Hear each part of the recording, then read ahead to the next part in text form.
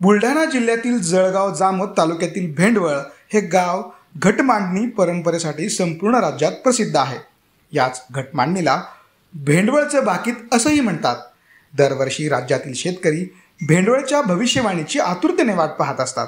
भेंडवळ घटमांडणीची परंपरा मागच्या तीनशे वर्षापासूनची आहे. अक्षय तृतीयेच्या मुहूर्तावर ही घटमांडणी केली जाते. त्यात अठरा प्रकारचे धान्य आणि गोल खड्डा करून त्यात मटकी ठेवली जाते. रात्री ज्या हालचाली होतील त्याचे निरीक्षण करून दुसऱ्या दिवशी भाकीत वर्तवले जातं. त्यानुसार शनिवारी अकरा मे रोजी पहाटे सहा वाजता भेंडवळची घट मांडणी करण्यात आली. चंद्रभान महाराजांचे वंशज पुंजाजी महाराज आणि सारंगधर महाराज यांच्या हस्ते ही घट मांडणी करण्यात आली. यानंतर घट मांडणीतील भाकीत वर्तवण्यात आलं. त्यानुसार यंदाचे वर्ष शेतकऱ्यांसाठी चांगले जाणार आहे. यंदा देशाचा राजा कायम राहील. चांगला पाऊस होईल. खरीप पिके साधारण राहतील. रब्बी हंगामातील गहू पीक सर्वात चांगलं राहील. असाही अंदाज वर्तवण्यात आला आहे एवढेच नव्हे तर राज्यात अतिवृष्टी होण्याचीही शक्यता आहे. भेंडवळच्या भविष्यवाणीनुसार यंदा जून महिन्यात राज्यात कमी पाऊस असेल तर जुलैमध्ये चांगला पाऊस होईल अशी भविष्यवाणी वर्तवण्यात आली आहे. ऑगस्ट महिन्यात पावसाचा जोर वाढण्याची शक्यता वर्तवण्याबरोबरच सप्टेंबर महिन्यात अवकाळीसारखा पाऊस होईल असाही अंदाज वर्तवण्यात आला आहे भेंडवळच्या भविष्यवाणीनुसार यावर्षी खरीप पिके साधारण राहतील. त्यात करडी मटकी मसूर तूर बाजरी हरभरा मूग उडीद ही पिकं सर्वसाधारण येतील. त्यानंतर या पिकांवर रोगराईचा प्रभाव जास्त असेल. पिकांची नासडी देखील होईल असंही वर्तवण्यात आलंय. रब्बी पिकांमध्ये यंदा गहू पीक सर्वात चांगलं राहील असंही भाकीत वर्तवण्यात आलंय. आचारसंहिता सुरू असल्याने यंदा कोणतीही राजकीय भविष्यवाणी करण्यात आली नाही. भांडवळ येथील रहिवासी आहे.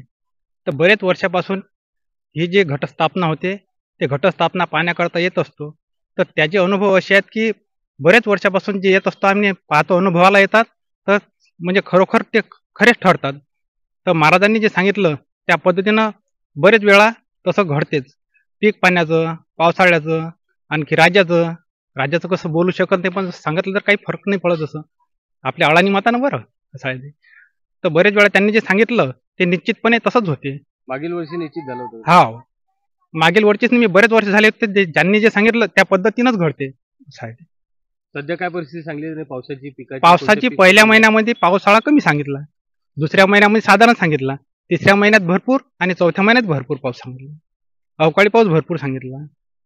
पीक कसं सांगितलं? कपाशी पीक सांगितली? कपाशीचे मोगम दाखवलं जरा असं आहे ते. आणखी ज्वारीचं हे ते बाजरीचं पीक चांगलं दाखवलं. काय वाटतं तुम्हाला याबद्दल?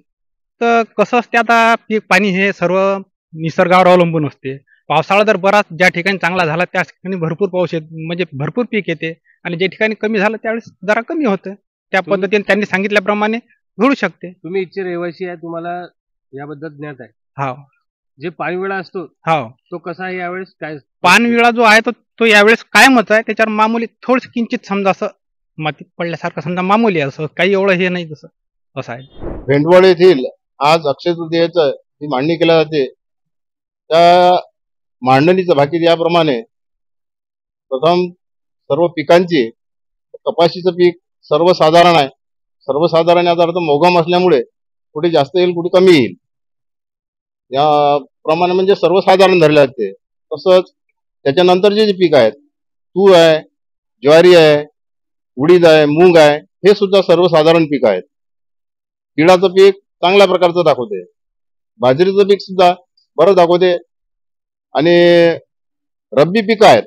रब्बी पिकापैकी गहू चांगला दाखवते. हरभरा साधारण आहे. करडी चांगली आहे.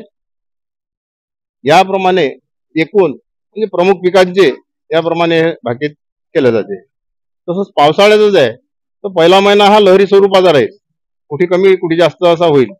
दुसरा महिना साधारण पहिल्या महिन्यापेक्षा थोडा जास्त आहे. तिसरा महिना जो आहे तो तिसरा महिना चांगल्या प्रकारचा आहे. चौथा महिना जो आहे तो सुद्धा चांगला आहे. आणि अवकाळी पाऊस सुद्धा भरपूर आहे. त्यामुळे जे पाण्याची पातळी आहे ती वाढेल. पण काही पिकाचं सोबत जे लवकर येणारे पीक आहेत त्यांची नासाडी सुद्धा होईल.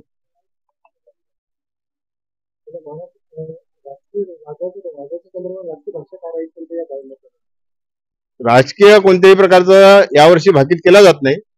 कारण आचारसंहितेचा आचारसंहितेचा कोणत्याही प्रकारचा भंग होऊ नये. यामुळे जो पानविळा कायम आहे आम्ही जे म्हणतो तो पानविळा हा गणपतीचं प्रतीक आहे. कारण हिंदू संस्कृतीत गणपतीला फार महत्त्व आहे. तर गणपतीचंच प्रतीक आहे ते खरं पाहिलं तर. तर ते कायम आहे. किती वाण ठेवून हे भाकीत केले जाते? हे अठरा प्रकारचे धान्य ठेवल्या जातात या ठिकाणी. राज्यासाठी कुठलं प्रतीक होतं? राजाचं कोणतं प्रतीक नव्हतं?